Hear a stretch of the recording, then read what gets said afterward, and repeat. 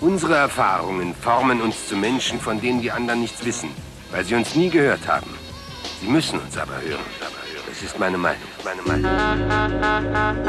Mein Name ist René Elkersreihe, auch bekannt als MC René. Wer mich kennt, weiß, dass ich ein langjähriger Zeitzeuge und Verfechter von der Entstehung der Hip-Hop-Kultur und Geschichte in Europa bin. Und wer mich nicht kennt, den führe ich jetzt zurück zu meinen Wurzeln nach Braunschweig. Entweder du bist ganz oben, weil man dich kennt aus dem Fernsehen oder sonst woher, oder es kann gar nicht sein, dass man davon leben kann. Man ist immer in diesem Rechtfertigungsmodus. Ich äh, akzeptiere das, wenn die Leute das so wahrnehmen, weil ich weiß, wer ich bin, woher ich komme, was ich getan habe und wohin ich gehe. Und das ist, glaube ich, sehr, sehr wichtig, das auch in diesem Prozess eines Lebens zu zeigen, wo Scheitern eine Chance ist, wo man ankommen kann. Aber dann muss man dahin gehen, wo es, wo es halt weh tut. Man muss sich mit seinen Dämonen auseinandersetzen. Und das ist in der heutigen Gesellschaft sehr schwer, weil wir alle hyper individualisiert sind und jeder sich ganz schnell ablenken kann und lieber die Aufmerksamkeit von außen will, anstatt auf sich selbst und seine innere Stimme zu hören.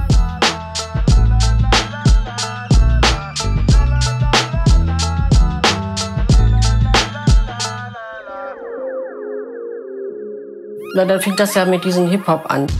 Weihnachten 87 hat er sich einen Plattenspieler gewünscht, den er auch bekommen hat, und hat eine LP von Michael Jackson bekommen. Ja, und von dem Tag an war René nur noch mit seiner Musik beschäftigt. So fing das an. Da war er elf Jahre alt. Ja. In der Weststadt haben wir damals gewohnt. Ist ja früher verschrieben gewesen, dieses, diese Weststadt angeblich mit dem Ghetto und alles. Aus der letzten Reihe seit der ersten Stunde. Pferdelunge trägt über den Loop. Ziehe Kraft aus jeder Ehrenrunde. Herz auf der Zunge, geh die Wege, die ich schuf. Aus der ersten Reihe bis zur letzten Stunde. Treppenstufen nehme ich im Flug. Pferdelunge schweigt für eine Schrecksekunde. Doch jede Wunde geht auch wieder zu. Schon seltsam schaue ich mir diese Welt an. Seltsam, lebe jetzt das Leben meiner Eltern. Back in the days when I was a teenager, hatte ich eine Weste wie Naughty by Nature und ein Pager. Trave Straße 6 schreibt den ersten Text, ja. Alle folgen Yo, TV-Raps auf VHS. Schule, IGS, überall das Best. Kleine Pause, schwarzes Brett, Essen, Macken schmeiß ich weg.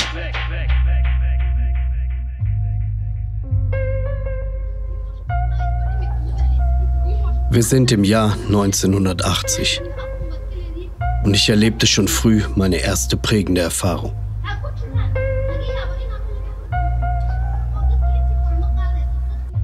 Meine Eltern haben sich äh, sehr früh geschieden. Da war ich vier. Und äh, ja, wir waren dann eine Zeit lang im Frauenhaus, weil die Situation für meine Mutter sehr kompliziert war. Äh, nicht, dass mein Vater gewaltvoll war, aber es war einfach ein bisschen explosiver. Und dann sind wir halt irgendwann in die Weststadt gezogen. Und das war dann auch so ein bisschen diese Zerrissenheit so zwischen Vater und Mutter, zwischen Deutsch und Marokkanisch. Man hat nirgendwo richtig dazugehört. Man war nicht Fleisch, nicht Fisch. Man war zwischen den Stühlen. Ne? Und in dieser Gegend habe ich das erste Mal so richtig, richtige Freundschaften geknüpft, wo auch eine halb und halb war. Du hattest halt ein bisschen diesen Schmelztiegel. Und durch die Rap-Musik haben wir uns damit identifiziert. Alle haben Heavy Metal gehört. Wir waren die Einzigen, die Rap gehört haben. Da hat ein Typ aus der Schule gesagt, als ich ihm Rap gezeigt habe, der war schon 18, E-Rap. Und ich dachte, Rap wäre eine Gruppe. Ja? Aber das war unsere Liebe und so. Das hat uns halt so ein bisschen geeint. Wir waren irgendwie lost, weil wir auch nicht die Väter hatten, die wir uns vielleicht gewünscht haben. Und in der Musik haben wir halt irgendwie so eine Art Oase oder Refugium gefunden. Und das haben wir halt hier ausgelebt, gefreestylt und geskatet, Basketball gespielt. Das war eigentlich unser Leben so auf der Straße. Ne? Es war schon sehr durchmischt oder Hip-Hop-Kultur ähm, mit den einzelnen Komponenten war auch hier in der Stadt Braunschweig Anfang der 90er sehr stark vertreten und hat sich auch vollzogen an Orten, wie jetzt hier im V oder im Jugendzentrum Rotation. Es gab kein, keine Disco oder Club, wo dann nur Rap lief. Es war hier im V. Und ich war das erste Mal mit 13 da drin Und äh, das war total aufregend, weil da lief auch die Musik, die man zu Hause gehört hat. Da lief so Tim Dog mit Fuck Compton oder, oder Public Enemy, sowas. Ne? Und die DJs waren halt die ersten, die halt praktisch auch auf Rap oder Hip-Hop gesetzt haben. Da hat man auch Musik gehört, ah, ich muss dann in die Stadt nächsten Tag, wenn ich wieder mein Taschengeld bekomme, um mir diese Platte zu kaufen. Ne? Also von daher war das schon übelst ähm, historischer Ort, weil es eben sowas nicht gab. Da waren Leute von Crews wie State of Departments, No Remorse sind da aufgetreten, äh, DJ Style Wars und Crack war sofort Fan Style Wars mit seinem Lötfinger. Ist, ist so krass abgegangen und war gleich schon so Gott ne, für uns. Da war das schon, das kanntest du nicht aus dem Fernsehen, sondern du hast es live erlebt. Ich stand daneben, habe es mit meinen eigenen Augen gesehen.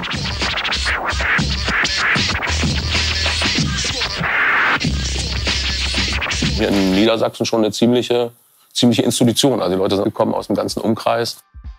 Und man hat dadurch halt natürlich auch die ganzen kleinen Mini-Hip-Hop-Crews gegeben. Damals gab es ja noch kein Facebook und Internet und so. Da gab es halt schwarz-weiß gedruckte DIN A4-Fanzines irgendwie. Ne? Und da hast du dann geguckt, wo die Jams sind. Und ne, konntest du nicht zum iPhone.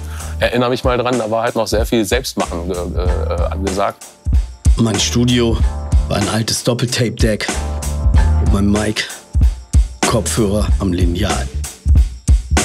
Ich war so in der siebten Klasse, glaube ich. Und die Jungs waren schon in der neunten oder in der, nee, in der zehnten oder elften. Also es war schon auch ein Unterschied. Und der eine hat mir meinen ersten Text geschrieben. Könnte ich jetzt rappen. MCL, the game is fame. Jokes on stage, you don't like a blame. Ghetto tapes, join the parties, look at us, everybody. The crew gets bigger day by day. Yeah, yo, listen to what I say. From the west side, we do it right. We love to party, but hate to fight. Give me a sign and I rock the floor. I drop rhymes and you shout for more. My name is MCL, the little MC. You say I'm a sucker, so fuck my knee. Das war der Text. Und ich habe gar nichts mehr wahrgenommen. Also ich war halt einfach komplett in der, in der Rap-Welt. Das alles so Anfang der 90er, da war man ja immer irgendwie aussätziger oder sonst was. Immer ein bisschen anders sein. Und man selber hatte halt Bock, subkulturmäßig, Graffiti, Hip-Hop, Breakdance, äh, Skaten als äh, auch eine Art davon, äh, sich so ein bisschen auszudrücken. Ein paar Beats da selber gemacht, teilweise auch Beatbox. Und dann haben wir auch Spaß, ein bisschen gefreestylt und Faxen gemacht, hatten halt eine gute Zeit zusammen. Und das war auf jeden Fall wichtig. Ich habe dann, ich weiß gar nicht mehr über wen, irgendwie muss über meine Philipp und Benny Sauer von State of Departments gewesen sein, dass die irgendwie meinten, hier, da gibt es in der Weststadt so einen kleinen Rapper. Alter, glaubst du nicht? Und so, ja, lass mitbringen, wir haben ja ne, eh mehr Zeit als Geld. Und ja, der hat dann auch Kontakt gesucht und irgendwann haben wir dann halt bei den Sauers so ein bisschen, ein bisschen rumgemacht. Und dann saßen wir oben, ich habe halt ein bisschen rumgescratcht so und, und äh, Olli und, und René kamen dann auf die, ey, wollen wir, nicht mal, wollen wir nicht mal zusammen rappen? Ja, und dann haben die beiden halt einen Text geschrieben irgendwie. Ich habe halt einen Beat angemacht, habe zwei Mikros angeschlossen, die beiden haben losgerappt. Aber es war schon klar, dass äh, René halt alles in den Schatten stellt. Da war halt äh, also das äh, Talent schon von ganz früh, ganz früh zu sehen. Das war halt meine Motivation, gehört oder gesehen zu werden. Ne? Ich glaube, das ist auch der Grund, warum ich dann vielleicht ein Rapper oder ein MC oder ein Künstler geworden bin. Weil ich das Gefühl hatte, ich will was sagen, ich habe was zu sagen.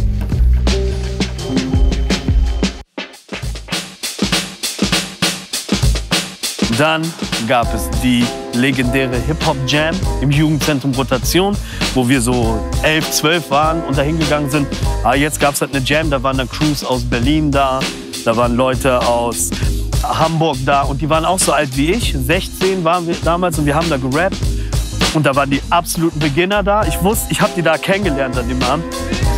Man hat sich ja natürlich direkt gleich verstanden. Ne, Wir waren ja dann später zusammen mit Main Concept, David P. ist ja auch dann so alt gewesen. Die Klasse von 94. Eigentlich unmittelbar danach, nach so einem Ereignis. Ne, War, waren wir die Klasse von 94. Aber hier hat dann eigentlich alles angefangen, wo man sich kennengelernt hat. Wo man sich ausgetauscht hat, gemerkt, ey krass, wir haben ja so denselben State of Mind. Und das ist halt das Interessante. Man dachte, man ist allein hier und auf einmal in deiner Hut, wo du aufgewachsen bist, hast du auf einmal diese Jam da vorne. Ja?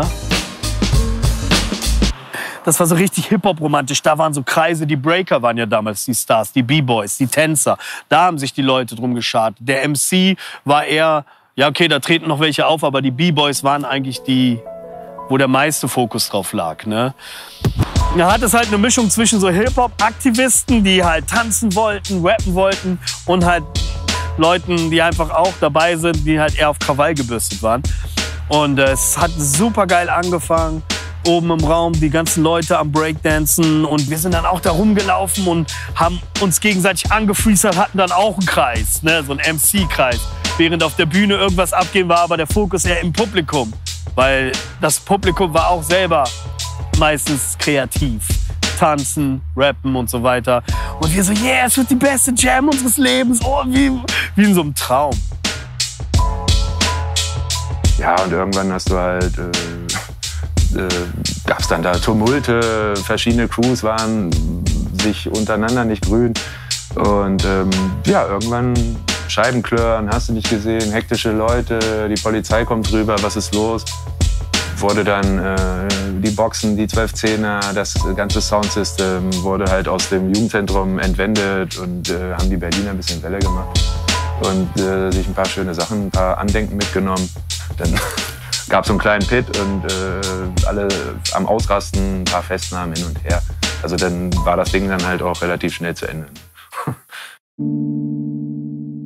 Die generelle Perspektive von damals in Bezug auf die Zukunft, die war so unklar und diffus. Ich hatte gar keine Vorstellung. Wir waren im Be Berufsinformationszentrum und dort haben wir äh, die Interessen eingegeben und dann hat ein Computer ausgedruckt, was für Berufe in Erwägung gezogen werden könnten für einen. Von Kindergärtner bis Tankwart war alles dabei, sag ich mal so. Aber ich habe gemerkt, ey, ich gehe zur Schule und was soll ich denn lernen? Das interessiert mich alles nicht. Und das Einzige, was mich zu diesem Zeitpunkt interessiert hat, war es zu rappen. Ein MC zu werden, ein richtiger Rapper, der Auftritte hat, der, der was von der Welt sieht. Ich habe es aber niemals in Erwägung gezogen, yo, ich verlasse jetzt die Stadt und, und, und ziehe nach Berlin oder ziehe nach Köln und so. Das war so weit weg, weil man so in seinem Kosmos hier war. Und auch durch so eine Veranstaltung, wo man auch andere Rapper, die genauso alt waren wie, wie man selbst, hat man überhaupt mal den Mut gefasst, auch in eine andere Stadt zu fahren, ne? um, um dort auch an der Jam teilzunehmen. Durch das Schülerferienticket. Ne? Das ist ein Ticket, da kann man in Niedersachsen oder konnte man in Niedersachsen in den Ferien halt nach Hannover fahren oder nach Hamburg. Da ist man da mit den Älteren mitgefahren und so hat man die ersten Babyschritte gemacht. Und dort habe ich dann in Oldenburg auf einer Jam Torch kennengelernt. Das war mein erster Kontakt und der war der King damals in der Szene. Und Storm und Swift, die ganzen B-Boys, das waren richtige Größen, äh, die richtig legendäre Sachen gemacht haben. Und von solchen Leuten Respekt zu bekommen für das, was man tut und nicht, wie man aussieht oder wo man herkommt, was für ein Leben man geführt hat. Das war für mich die größte Motivation, weil all das hatte ich nicht. Und das hat mich motiviert, einfach an diesen Traum auch zu glauben, nicht den Empfehlungen von einem Berufsinformationszentrum zu folgen und, und wie ein Lemming in eine bestimmte vorkonditionierte Richtung zu laufen, um ein Bild der Gesellschaft zu entsprechen, sondern dem zu vertrauen, wo nur du selber anscheinend geglaubt hast. Und diesmal hatte ich halt ein Feedback. Andere haben es nämlich auch getan. Und das war für mich der Ruf der Ferne, dem ich dann auch gefolgt bin. Ich habe alles stehen und liegen lassen hier in der Stadt und musste gehen und bin meinen Weg gegangen. Mit vielen Höhen, mit sehr vielen Tiefen. Und jetzt, wo ich zurückkomme, weiß ich, alles klar, alles hatte einen Grund. Es hat einen bestimmten Grund von hier aus angefangen zu haben, um den Schritt in eine neue Richtung zu wagen, auch ins Ungewisse zu gehen. Und das war das Beste, was mir hätte passieren können. Wir hatten dann gerade die Aufnahmen zu dem That's Real Underground Sampler. Und äh, da fing es dann an, dass er halt, ja, meinen beiden Rappern einfach die Show gestohlen hat. Zurück mit dem Mikrofon in der Hand, galant, wortgewandt und mit viel Verstand. Interessant, auf dem neuesten Stand nicht bekannt. Mein eigener Style, den ich selbst erfand, mit reinem Energie. Dem gewusst wie ein Start mit Volti und der Sympathie meiner Poesie. Ein Gedicht mit viel Licht, das Licht ist zu schlicht, aber nicht zerbricht. Ich komm direkt, nicht versteckt aus dem Mac, genannt die Weststadt, wohl steckt aufgeweckt. Nie verdeckt, die Reime rap mich nach oben streckt. Den Freestyle abcheck, ich denk positiv, nicht negativ, primitiv, inaktiv oder unkreativ. Aber daran, wie es um Hip-Hop steht, denn im Siren. Er war dann fester Bestandteil unserer Show, hat halt, hat halt alle Texte mitgerappt, war halt ja, ein halbes Jahr, ein Dreivierteljahr war er bei uns und dann war klar, da muss Weiterentwicklung kommen, die konnten wir ihm nicht geben. Und so ist er dann halt nach, nach äh, Heidelberg gegangen. Hat uns zwar nicht geschmeckt, aber war ja natürlich das Beste, was er hätte machen können. Jeder muss sich ja selbst entwickeln, sage ich mal so. Das musste ich auch machen, das muss wahrscheinlich bis heute noch.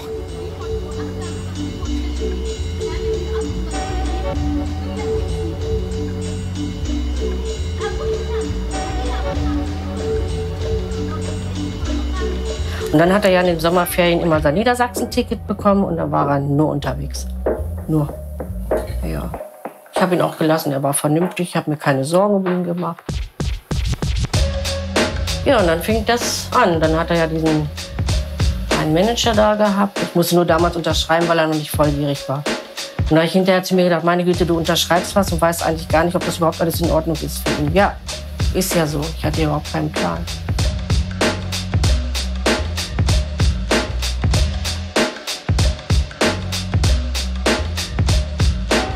Überleg mal die Zeit. Boah. Mit solcher Liebe ist er noch dabei und boah, der hat ja tausend Ideen immer noch im Kopf und was jetzt noch so alles noch dazu kommt in der heutigen Zeit. Oder sein Buch, was er damals 2000 geschrieben hat. Ne? Oder seine Bahnkarte mit, mit, der, mit der Bahnkarte 100, wo er noch seine Wohnung aufgegeben hat. Und die glaubten das immer alle nicht. Natürlich ist er so gewesen. Hm? Kühlschrank schön leer gemacht bei anderen Leuten, Socken. Ne? Sein Bruder wartet heute noch auf fünf Unterhosen von ihm, sage ich mal jetzt so. Ne? Und ja, das war schon boah, 2010 war das. Und da ging es ja wieder richtig los damit. Ja.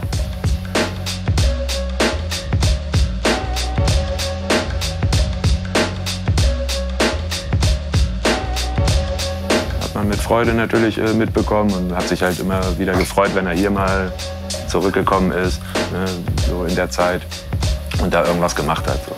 Bevor die ganze Viva, MTV, Viva machen, tun, hin und her. Das war ja, da warst du ja nur noch stolz, dass du ihn kennst, aber er war halt selten da. Ne? Aber wenn er da war, dann war er doch da. Und dann waren wir auch zusammen und haben immer so, also wie eine gute Zeit gehabt. Darum ging es uns auf jeden Fall.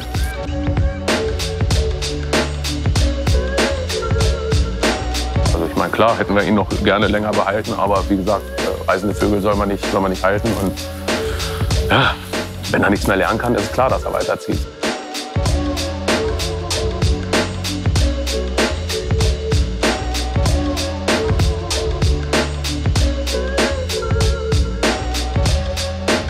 Während meiner Schulzeit, so um 1994 rum, habe ich mein Debütalbum aufgenommen. Renevolution. Die Revolution war mein Weg raus aus Braunschweig.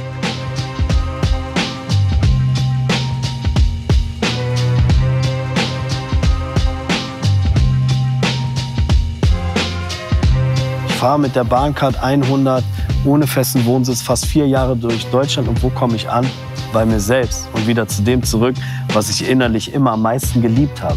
Spiel mit den Worten, Reime zu machen, aufzutreten, bei meiner Kernkompetenz zu sein, anstatt Leute zum Lachen zu bringen. Und dann hat sich noch ein weiterer Kreis für mich geschlossen, da ich im Unfrieden mit meinem Vater auseinandergegangen bin, als ich diese Stadt verlassen habe, konnte ich 2016 in Marokko mit Figo Braslevic ein Album machen. In demselben Jahr bin ich Vater geworden und habe Frieden mit meinem Vater geschlossen, der dann ein Jahr später verstorben ist. Und das war halt krass, ein Leben kommt, ein Leben geht. Und so gab es einen Prozess, auch, auch der Selbstentwicklung, dass man diesen ganzen alten Ballast, dass man den einfach mal fallen lässt, um wieder in der Gegenwart anzukommen. Und dann wieder zurück zur Musik und diese existenziellen Erfahrungen zu machen. Ich hatte große Angst. Ähm, wie wird das wohl sein in Marokko? Äh, das, vielleicht, vielleicht mögen die mich nicht oder so. Oder es wird komisch. Wie ist das? Weil ich meinem Vater so lange nicht gesprochen habe, weil wir uns gestritten haben. Wie wird das sein? Das will ich alles von mir wegdrängen, dieses Wegdrängen und so weiter, anstatt sich sein, der Angst, den, seinen Ängsten, dass man versagt, dass man nicht genug ist, dass man es nicht schafft in der Gesellschaft, die von dir Leistung fordert oder eine, eine Gewinnermentalität ständig zu jeder Sekunde auszustrahlen. Obwohl man sich auch schwach fühlt, alleine, ähm, traurig, ja. Wie geht's? Ey, mir geht's super, aber wie läuft's? Ja, läuft. Und es lief nichts. Ja? transparent zu sein mit sich und seinen Gefühlen und so. Und die Dämonen, die ziehen dich weg. Die ziehen dich in den Club, ja, in viel Liebelei, Drogen, die ziehen dich weg, weil die Leere in dir drin ist. Und wenn man die Leere, die kann man füllen. Aber es ist schwierig, wenn man keine Liebe bekommen hat. Und ich kann sagen, meine Mutter hat mir Liebe gegeben. Und mein Vater hat mir, hat mich geliebt, aber er hat es mir nie gezeigt.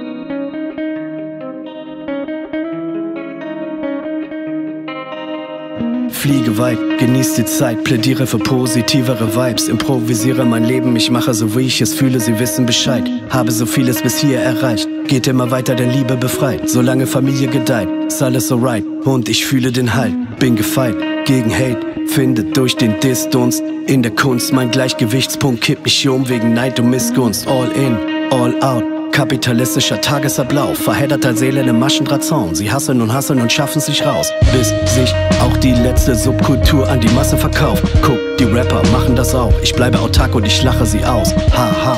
Es geht nur um die Accessoires der Rap-Schlagerstars. Dein Ghostwriter legt dir heute wieder deine Lines mit der Mastercard. Erbeuten Klicks, täuschen Kids, es bedeutet nix. Erbeuten Klicks, täuschen Kids, es bedeutet nix. Morgen kräht kein Haar mehr danach. Morgen kräht kein Morgen kräht kein Haar mehr danach. Vielleicht hab ich keinen Plan für danach. Aber mehr Kampfgeiz als jeder Faker, der denkt, er wäre bei Martial Art. Ich brauche kein Bodyguard. Ich brauche kein Management. Alles nur Lemminge, komme was wolle, ich bleib in meinem Element. Jede Zeit ist reif, jeder Hype ist nur dem Untergang geweiht. Nur die Eitelkeit ist dein Feind. Du weißt Bescheid. Nur die Eitelkeit ist dein Feind. Du weißt Bescheid, du weißt Bescheid, du weißt Bescheid. Ja, ja, war schon mal ein bisschen dünner früher. Jetzt bin ich der fette Rapper, der durch sein altes Ghetto läuft und sagt, er hat's geschafft. Yeah.